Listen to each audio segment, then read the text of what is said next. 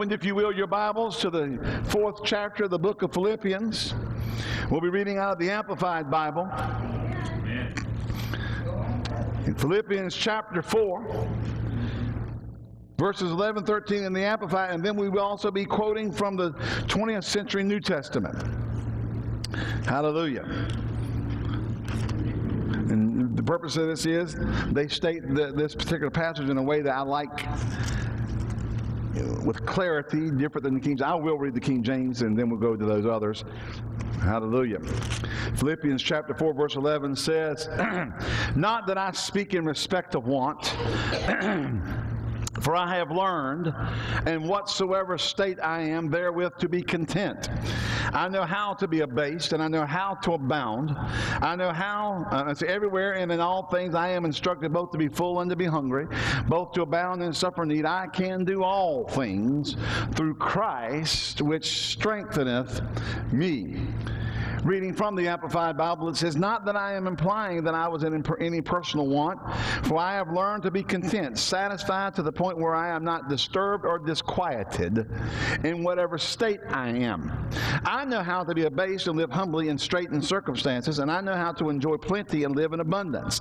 I have learned in any and all circumstances the secret of facing every situation, whether well fed or going hungry, having a sufficiency and enough or to spare, or going without and being in want. I have strength for all things in Christ who empowers me. I am ready for anything and equal to anything through him who infuses inner strength into me. I am self sufficient in Christ's sufficiency. Amen. Hallelujah. And um, the 20th century New Testament, verse 11, says this Do not think I am saying this under pressure of want, for I however I am placed, have learned, I love this, to be independent of the circumstances. Glory to God. Uh, today we're going to talk about finding contentment with or in life. I think a, a lot of the things that go on in the body of Christ today, uh, a lot of people are following after false doctrines, they're following after, you know, exciting doctrines or whatever, and it's all because they're not content. They have failed to learn to be satisfied. Are y'all here? You going home? You don't need another car to be satisfied. Well, listen, I know Christians who spend all the money that, they, that God gives them extra to bless the kingdom with on buying stuff to try to satisfy them. And it was never intended for them to satisfy them. Listen, listen God doesn't care if you prosper. And see, that's, that, that's the problem with the prosperity message. We didn't teach enough balance with it. We, well, balance is compromise. Balance is not another word for compromise if it's biblical. Are you here? We need to, number one, have a heart for the things of God. Somebody say, I need a heart for the things of God. Your number one heart, your number one pursuit, your number one desire is God. Y'all hear you going home. Now, I'm a, I am a response preacher. You know that, so say something. Don't sit there like a knot on the log or the frog, frog on the knot. Amen. Amen? I want an amen here and there. And if you don't like what I said, say, Help me, Jesus.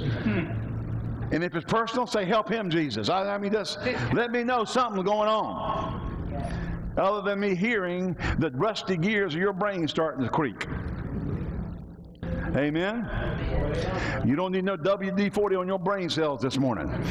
Amen. Amen. And you just make a choice to hook up. Amen. Hallelujah. There's a lot of a lot of Christians are not satisfied and they keep looking just like when the children of Israel came out of Egypt, the, the, they started looking for a way to return. They got out there in a place where they had to live by faith. Come on now. But they, would rather not live by faith and go live in slavery because living by faith challenged them in an arena they weren't comfortable with. Hello. It's easy to live with the norm. There are women who live with abusive men because it's better to live with what you know than the, than the fear of living in the unknown. Right. Lady, you don't need no man coming in beating you. My God. You're better off without him, but I don't know what I'm going to do without him. Live. Hello. And if he's beating you, call me. I'll show up my shepherd staff and I'll whoop him. Amen. And I'll bring little dog with me. He'll hold him down and I'll beat you. All right. Yeah. You're little dog. Oh, he's, Nate says he'll take care of him. You sit on him. I'll beat him. I said, you'll hold him down and I'll beat him. No, you sit on him. Oh, I'll sit. Oh, Nathan's got to do better method. Me sit on him and him beat him in the face.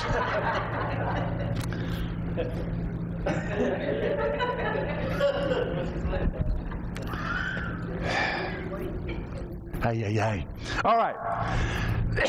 no, but when, when, what's, what's that all about? They're afraid to step out. The children of Israel got out of Egypt and started saying, Would to God! And for 400 years they cried like babies. So much so that when God spoke to Moses, he said, I have heard their cry these 400 years. Their cry has come up before me because they're in captivity and they're in bondage and they're in slavery and they're not getting they're not living a joyful life. The Egyptians have all their stuff and they got to go out there and, and stomp brick and they got to make mortars and they're building big cities all for the glory of a Pharaoh who presented himself as the great Almighty. And they kept doing that and they whined and complained and grumbled to God for 400 years. They get out three days in the desert and then would to God we were back in Egypt. And you get Christians who come out of bondage. They come out of addictions. They come out of the dissatisfaction of not being alive unto God and get saved. And somewhere down the road it gets a little tough. And would to God I was back there in the world drinking and smoking dope and running around women and have all kinds of STDs and all that kind of stuff it's better than serving God. Yeah. Hello. You know, get drunk's better serving God. I'm going to go get high today. I'm going to smoke me some dope. I'm going to get some reefer. I'm going to go from, find out in the Bible it's okay to get drunk. You're dissatisfied. That's right. You're not content. You're letting your flesh and your soul govern the contentment of your heart. And you have to learn to, like Paul here, say that however, whatever state I am placed in, I've learned to be content or independent of the circumstances. Yes. It's not easy, folks. I'm going to tell you something. It wasn't easy when they called and said, "We're not going to pay for it," and you're looking at thirty to forty thousand dollars of money you don't have. Hello. There's just no money. There's, just no thirty or forty thousand dollars laying around. Hello. I did not need the phone call for the flood. Not your fault. As a matter of fact, the first time this building flooded, it flooded from a rainstorm and came in the back and went out the front door. This one came from the front and came out the back door. They said it was running through the parking lot like a river because there's so much water and it was running out the doors and just running through the parking lot. The first time it flooded, I was on vacation. Got a phone call. Pastor Ed, the church is full of water. Rain and just feel This time I was on vacation. Somebody said, stop going on vacation.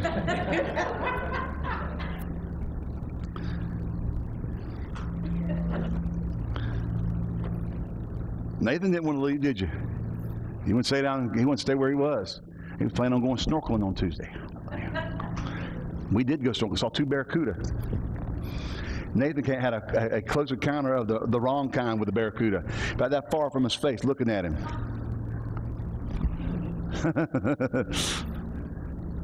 Got out of there, didn't you, buddy? yeah, he did. Hallelujah. You, you've got to learn that there are going to be things that happen, not everything. This is where people come in. They'll come into the prosperity, they came into the prosperity message, and everybody's telling you have supernatural debt cancellation, you're going to give up, you're going to give to this preacher, you're going to give to that preacher, you're going to have all your debts erased, and it didn't happen. And I'll get into that in a minute. I'll tell you why. You know why it didn't happen? Because they were given for the wrong reason. You don't give because, and I, am to tell you something. I'm just going to say something. This, this, this false doctrine. You got to give up to get blessed. You got to give to the preacher who's got prosperity. He's already got the prosperity. I think it's, it's fine to give to ministers. You obey God. But don't you believe for a second that just because you gave to the, the prosperity preacher, you're going to get all your debt paid off next week. That's a lie and a bill of goods was sold to everybody, and everybody bought into it. And I had one preacher say, I was in his meeting when it happened. He said, I was at such and such meeting, and I sat on the end row and didn't even preach, and people put $25,000 in my coat pocket that week, and I didn't even preach. Now, here's my problem with that. The only reason they gave it to him is because they knew who he was and knew his name. The guy that sat back here on the back row that worked at Walmart as a janitor on the third shift, he didn't get $25,000 put in his coat pocket. Because why we're teaching to give up, get, get, get to the preacher, because he's anointed, and that's going to cause your money to be blessed. You know what's blessed in your giving?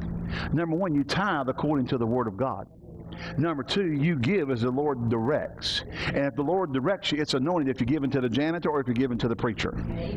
That's right. Amen. That's right this other mess is just, I, I, get really frustrated when I see it hoarding up in the hands of people who go around and preach this, and they, they stuff money all in their pockets, and they're driving around and you know and, and, and building you know multi-million dollar homes and flying around in multi-million dollar jets, and they're driving multi-million dollar type cars and all this kind of stuff, and they're telling you this because you give to them, you're going to get your debt paid off, and people giving all that money, and the local churches suffer, and the people aren't getting blessed.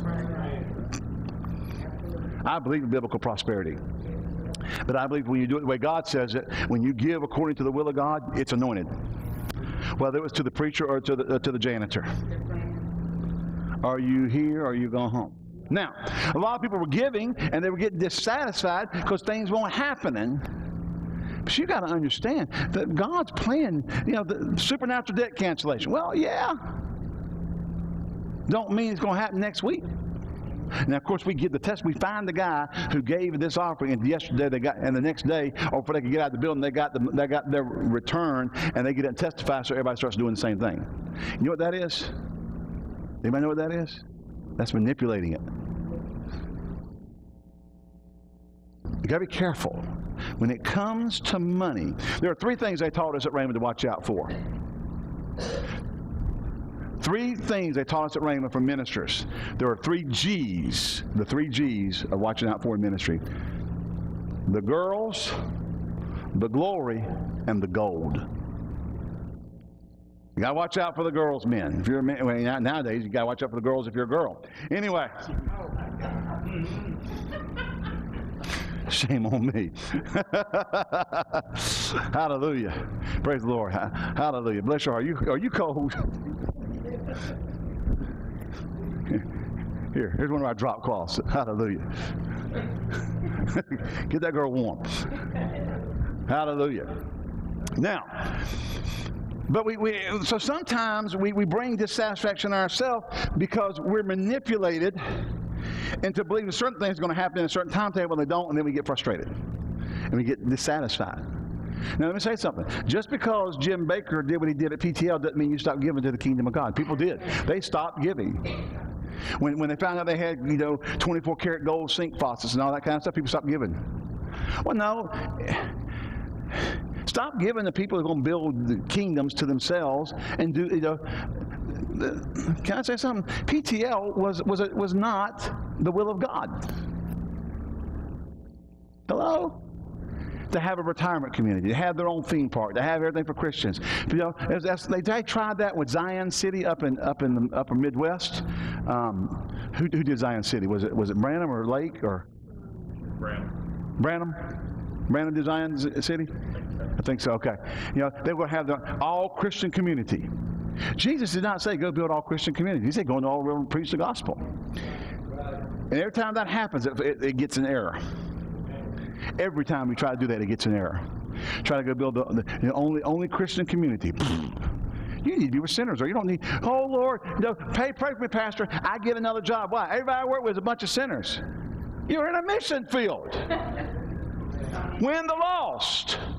Hello? I want a job with all Christians. What for? You can come to church for that.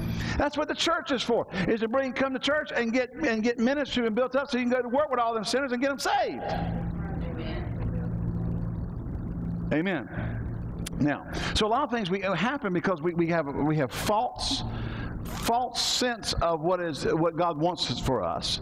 God wants you to prosper, but I'm going to tell you, just because you gave an offering this morning doesn't mean you can walk out the door and somebody's going to put ten thousand dollars in your hand. I've heard preachers say that. The thousandfold anointing's on me right now. Give, and you're going to have a thousandfold return. You know. I heard one preacher say it. There's a, there's a thousandfold anointing on me right now.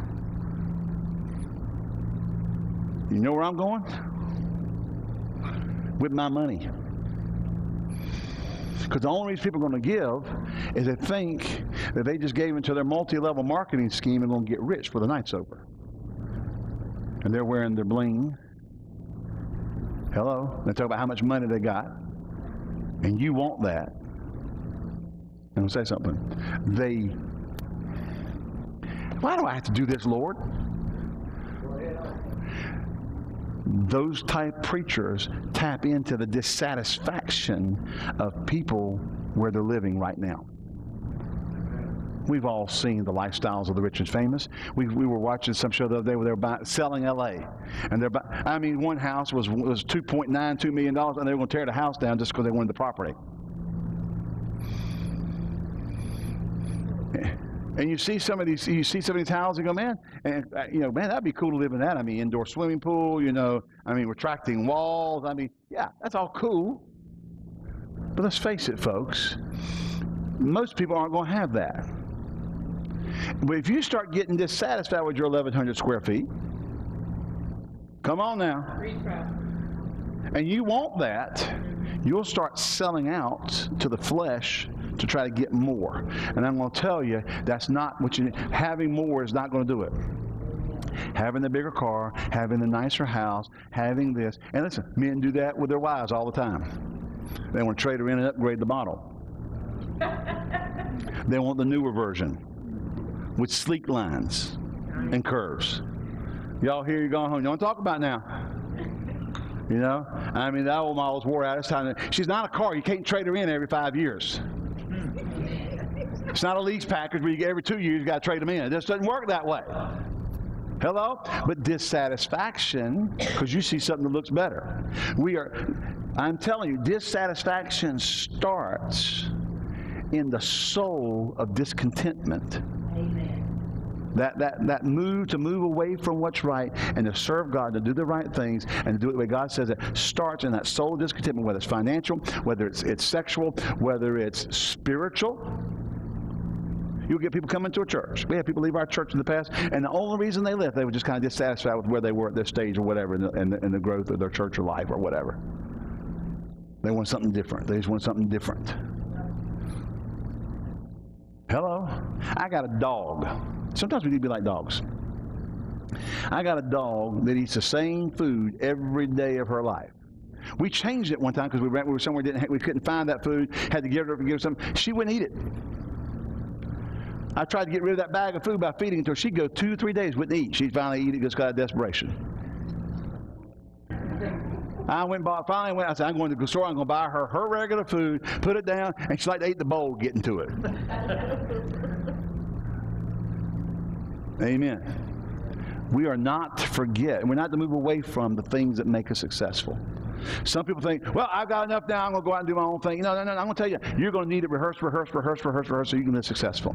But we, we get dissatisfied spiritually. We get dissatisfied soulishly. We get dissatisfied uh, uh, uh, materialistically. We get dissatisfied sexually or, or, or with your spouse. Folks, you get, I'm going to tell you something. If I let my wife say, you know what, I'm just going to trade you in next week, the trade would probably never take place.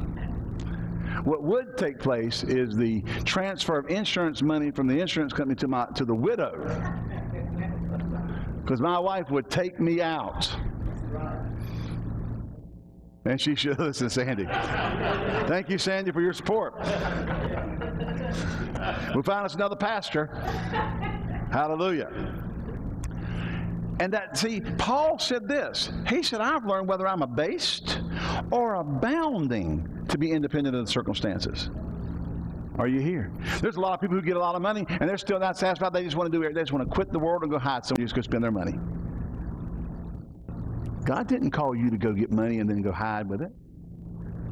What he, he gives you the power to get the wealth to establish his covenant in the earth. And that is, when some people say, well, that, that means they, they focus on establishing his covenant of blessing you in the earth. But I believe he gives you the power to get wealth that he may establish his covenant. He gives you, he blesses you financially so you can help get the gospel out.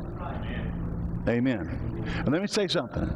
If you, if you think that the God that, that the church should only be it's all about just winning the lost, you're wrong. Jesus said, "Go make disciples." He didn't say, "Go make converts." There's a difference. The local church is supposed to grow up the believer. Amen. All I care about is winning the lost. You're wrong. I said, You're wrong. The head of the church says, Go make disciples. He didn't say go make converts. So if all you're thinking is win them, win them, win them, win them, win them, win them, win them, I'm just going to win them, you're wrong. God only put, wants me to put my money where I'm going to win the lost. You're wrong. The church is designed to disciple the believer so the believer can go win the lost. Did you know that 85% of people that are won to the kingdom of God are won one on one? and not through mass evangelism or through Christian television or anything else? 85%. Huh, they were discipled in the church, and the church went out, and the people went out and won them. 85%. Well, all I care about is working in that 15%. You're working in the wrong place. Thank God for mass evangelism where it works. But I'll tell you, um, I, I, know a guy a number of years ago, he was uh, doing a bunch of stuff in the country, and when a bunch of people to Lord, what they found out was no, nothing was happening with the follow up. So a friend of mine went with him for for um, for uh, 24 months or something like that, and went behind him and started churches. After the Crusades were over, he went in and started churches. What? You got you quote 50,000 people saved and no church for them to go to? What are they going to do? They're going to die. What would you think if we had 50,000 people born in this country today and didn't put them in a, didn't put them in a nursery? So, well, you're born, you're human, make it. No, making disciples is important. Amen. But Paul said he said, you know, I, have learned to be independent. In verse 11, I've learned in 20 centuries independent circumstances. Verse 12 says, I know how to be abased and how to abound. Everywhere in all things I am instructed both to be full and be hungry and both to abound and suffer need. Now, I've, I've, I have struggled because a number of years ago I read a translation or a commentary of a translation that I cannot find, but it's ingrained in my head ever since then. And I've looked and looked and looked and looked, and I can't find it. And it's just frustrating me because I want to find it and be able to reference it. But I, I was reading either a commentary or a translation that said this. He said, uh, Paul says here in verse 12, he said, I have learned that whether I have plenty, that if I have plenty, not to lose my head. Or if I have lack, not to lose my poise. What are we talking about here? Becoming, and he goes on says, independent of the circumstances. And that is the key to finding contentment in life. Your surroundings can't govern you. Your surroundings cannot determine whether you're going to be happy today or sad tomorrow. Hello? Your bank account. Oh, listen, I'm going to tell you something, folks. Hallelujah. You know, we all, we've all, have you been there? Your bank account's talking to you. Anybody had, have you ever had your bank account talk to you in the middle of the night? You ain't got no money. You broke. You going under. I mean, go on, turn hee haw on and sing with them. Gloom, despair, and agony on me. go ahead and sing with them, boys. Deep, dark depression, excessive misery. If it weren't for bad luck, I'd have no luck at all. Gloom, despair. I mean, even your, your bank account sing it to you. You're in trouble, boy. You're going under. Paul said, I'm independent of the circumstances. I'm not going to lose my poise because my bank account's in trouble. Now, what was it? Then all of a sudden, all the money shows up. You got more money to know what to do with. Don't lose your head. What do you mean lose your head? Man, I'm going to rent, I'm going to buy me a $20 million yacht and I'm just going to float around the world. Me and the Lord. The Lord didn't call you to float around the world. Now, I'm going to tell you something. Some of these preachers that went and got all this money and they divorced their wives or they divorced their husbands and marriages broke up because they had all this money and people put 20, 30, 40 million dollars in their ministry over two or three years. Are you here? I know you're thinking, can't, no, no way. Oh, yes. There's one of these, one of these hotshot television people had to have their apartment in New York City go up in New York and film their program for the Christian Network. $20 million when the divorce started coming down. They're renting a six, seven thousand dollar a month apartment because they got to go film in New York. I'm going to tell you something. They make nice cameras and nice studios you can put in, in wherever you're from. You don't have to be in New York City. Are you here? Hogwash, another another family. They got on television and hit and shot up like a rocket. She's out. He made he made four million dollars a year pastoring. She made twenty million dollars a year as a, as an itinerant because of Christian television. Now I'm gonna say, I'm, Well, God wants us to be blessed. I'm going to tell you something. I, I'm sorry. No preacher needs $24 million. There's no lifestyle we need when there's a world going to hell. Hello. You can live comfortably and you can live good. You don't have to live. See what happens? We, I deserve it. I had one preacher say one time his guard dog was worth twenty-five thousand or fifteen thousand dollars. Now I'm, I'm going to tell you something. My wife had a hard time with that statement. We had people in our church who didn't even make fifteen thousand in a year, and he's bragging about his guard dog. Who, who had, it was named, it cost him fifteen grand for his guard dog. I got, and, and then the people want, they, they want the people to give to him so they can get out of debt. Well, how, what, what do you feed him? Filet mignon for dinner? See, that's losing your head. That's right. See? You're, you're not content. You got to go lose your head and spend super, stupid, stupid extravagant.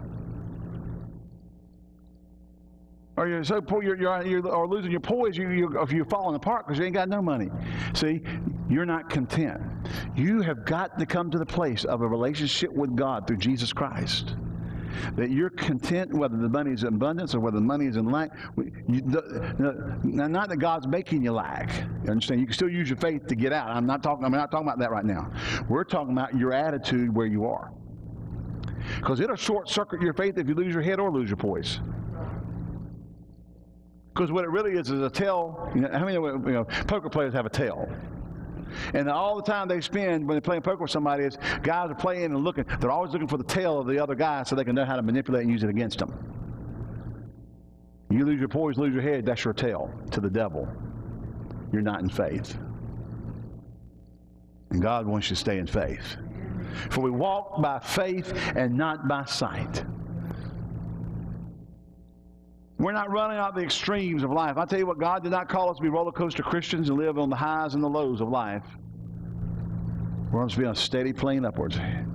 Line upon line, precept upon precept, here a little, there a little, from glory to glory. We're always moving up with Him. But it's not this. When are you happy? I got the money. When you're not happy, I don't have no money. Hello? This went right today. Woo! This went wrong today. I got relatives that get on Facebook. You can always tell. You think, oh, I mean, you know, just, just some people shouldn't be allowed on Facebook. I won't call their names. I, apparently, from looking at some of y'all that are friends with them, they know you know I'm talking about. Anyway, I'm gonna stop since you know who I'm talking about. Bless their darling heart and stupid head. Anyway, Paul said, "I've learned." If I'm not going to lose my poison, I'm not. I've got to be independent of the circumstances. And so, if you're going to find contentment in life, that's what you're going to have to do. Let's move on here. Um, Paul says this. He says this um, in verse. His thought here is not that we're sufficient of and by ourselves. He states that. Remember that? He said, "My self-sufficiency is in Christ." I am self-sufficient in Christ's sufficiency. Second Corinthians chapter 3, verse 5 says, Not that we are sufficient of ourselves to think anything of ourselves, our sufficiency is of God. I'm telling you, when you learn to live in communication and in uh, connection with the Father, and you learn the secret of having that divine relationship with Him, the storms of life can come. Remember the man who built his house. He that heareth these sayings of mine and doeth them, I will liken him unto a man who digged deep and built his house on the rock. And the storm came, and the winds blew, and the flood came, and the house stood. But he who heareth these sayings of mine and doeth them not, I will liken him to the man who built his house on the sand. And the storm came, and the winds blew, and the floods came and beat upon it, and great was the fall of that house. What's the man hears the? When they, they, they let their life and their circumstances govern them. Paul says our sufficiency is not of ourselves, it's of God. You're not, go- listen, I want to tell you something. You're not going to be rich because of you, and you're not going to go under if you're poor because of you. If you'll learn to trust God, you will always win. You'll always come out on top. You won't lose your head. You won't lose your poise. You'll always be a blessing. You'll always walk in the goodness of God. Amen. Um, people think materialism, circumstances, let me say, they, they do not produce joy, they do not produce strength, they do not produce satisfaction of life. You got Christians who are dissatisfied because of what other people say, because of unanswered prayer, because of uh, personal failures, because of shortcomings. This dissatisfaction of the believer, depending upon the external, is, just, is to satisfy the material, uh, internal. You cannot listen. You understand this? Our our life is an inside out, not an outside in. Does that make sense? If man is a spirit, he possesses a soul and he lives in a body. Second Thessalonians chapter 5, verse 23 says, I pray God your whole spirit, soul, and body be preserved blameless until the coming of our Lord Jesus Christ. Man is a spirit. You're a spirit being created in the class of God, created, created to look like God. You're a soul. You have a soul, or have a soul, you, you, which is your mind, your will, your intellect, your emotions. You have a body. That's the house you left. That's an earth suit. All right? That's an earth suit. You have a body. But we are an inside out being. It starts in our spirit and comes out. If you try to start with the flesh and satisfy the internal, it'll never happen. It has to start in your spirit. It has to start in a spirit man who's alive unto God in communication and connection with God, and he's, he's, he's fostering that relationship, and it will bring to the outside. And you'll find out you can do without a quarter of a million dollar car. I don't care if you have one. God don't care if you have one. But I'm telling you, if you're looking to that car to satisfy you, I got a problem. If you're looking to your house to satisfy you, you got a problem. You know, uh, it's kind of interesting because, you know, people always get big houses when they got the kids and then they want to downsize to something smaller. You know, get something smaller so they don't have as much stuff to keep. You know, we, I, we got we have four bedrooms in our home. I had three kids, but you know they're all going to be leaving some at some point in time. They'll all get married. Going to have their own family. They're not going to live with me. There's, I don't, I'm, I'm not Southfork. Dallas, guys, the movie, the show Dallas, which is coming back next week on TNT for all you people who loved Dallas with J, with J.R. and Bobby. Anyway, can't be Miss though; they're dead. Anyway, you cannot satisfy a spiritual need with an external. New car is not going to take care of, of, of, an empty spirit. And when you, and many people do this, they separate themselves from the church, from coming to church, from being in church, because things, you know, and sometimes things happen in church. People disappoint you. They're going to disappoint you. Did you know that? People in church are going to disappoint you. Pastors will disappoint you. One reason is you put them on a pedestal they can't live up to. I don't walk on water. Tried it once. I was smart enough to put my swimsuit on. Got wet. Hello. Oh, if you're really in faith, you would done in your suit. Yeah, maybe that's true. But I was just going to see if it really would work. It didn't work. Hallelujah. The dissatisfaction is a result of the believer depending upon external to satisfy the internal.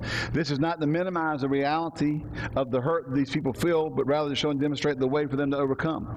Paul further emphasizes this point in Colossians 3 2, where he says, Set your affections on things above and not on the earth. I'm going to tell you, if you got your affections on everything, and material, everything's material, everything's material, everything's material. Here's, here's a good checkup point. Stop right now. Imagine that you went down to uh, the local gas station and bought a lottery ticket today. And tomorrow night on the Super Bowl, they pulled your name and they gave you, you found you singularly won $240 million. And you are taking the lump sum of about 83 to 95 million, because they took out all the taxes. Hello. And now you got $83 million. You're just dreaming of it. What are you dreaming about doing?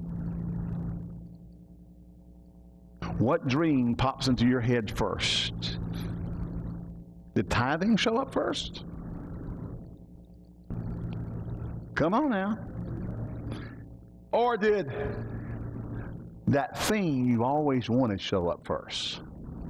The house, the yacht, the car? Traveling. All, and then somewhere down there, oh yeah, I'm supposed to tithe. You better, and listen, not just tithing, giving. We're going to build us a church, Pastor. well, you can't do it with the tithe. That's the tithe. You, can, you don't have any choice of what gets done with that. That belongs to the Lord. What are you going? You going to build it with your extra money? No, I gave I gave eight, I gave eight point three million dollars to the church. That was that's my tithe. You can, no, that's your tithe. Are you going to give? This when you start envisioning and having desires. What's first? It's all right to have desires for things, as long as they're in the proper order, in the proper place. And I just use that because you know we can all dream. Right? I won the lottery. I got you know an eighty-three million dollar windfall today. I am you know I can quit my job. Okay, that's fine you quit your job. What are you going to do? You going to sit around the house? You going to take up drinking, to, you know, because you don't have any friends anymore because you don't go to work? Hello. What is it you're doing with all that money in your head? I mean, forget winning it. Just what are you doing with your head? Because that tells you where your heart is. And Jesus says, set your affections on things above and not on the earth. Is your affection on the things of the earth? Is it on, or is it on the things of God? Is it building the kingdom of God, helping to, helping do the work of God? Man, I'm telling you, do you know how many churches you could build in other countries with just a five percent of that kind of money? There are places in the world you could build an entire church uh, for ten thousand dollars, American dollars, the whole church. Can you imagine going out and building 10, 20, 30, 40, 50, 60, 70, 80, 100 churches in places that don't have a church? Yeah, but that, that could cost me my yacht. Oh, there you go. You're looking for outside things to bring. Listen, God don't mind if you have the yacht. He does mind if the yacht has you. Y'all here? You gone home? Philippians 4:13, Paul said, "I can, you know, I can do all things which strengtheneth me." Let me say this: lack doesn't bring defeat, and abundance doesn't bring victory. Remember we said there, he's learned to be abased or to abound. Lack does not bring defeat, and abundance does not bring victory. Defeat and lack, I mean, defeat and um, victory take place in the heart. Are we going to be content and win? Or are we going to be losing our head and losing our poise and losing all the time? When you look at Paul's life, chapters 11, I'm going to stop here because tonight we're preaching on healing. But when you look at Paul's life, read the, the uh, 11th and 12th chapters of Second Corinthians. You know, I've been three, you know, three days and night in the deep. For three times have I received 40 lashes, save one. You know, I mean, in, in perils often in, with my countrymen, perils in the city, perils in the country, and fastings and nakedness. He goes on and on and on and on and on and on and on. And on. Yet Paul said, I learned to be content. I challenge you today to stop looking around you for your satisfaction and your joy and look back to the Lord and make sure that your joy is coming from the inside out. Amen. Coming from a relationship with Him, coming from having time with Him, so that. What's that song we used to sing? This joy that I have the world didn't give it to me. Oh, this joy that I have. The world didn't give it to me. This joy that I have. The world didn't give it to me. The world didn't give it, and the world can't take it away. Why? It's from the inside. When it comes from the inner man, it comes out of that relationship with God, the world, the, the creditor can't take it away from you. Hello? and you won't go giving it to the boat or the ship just to try to be happy. Father, we thank you for our time together. Thank you that there's a challenge by the Spirit of God to find contentment in Jesus Christ that supersedes any materialistic, circumstantial situation that's going on around people. That they can have the joy that they need and, and to be sustained by that and not fall away or, or, or go by the wayside of, of losing, uh, losing their head by too much or losing the poise by lack, They've learned to live the life of contentment in you. Thank you, Father, for opening their eyes. Thank you for revelation concerning these things. Thank you the understanding by the Spirit comes unto them now. In Jesus' name, amen.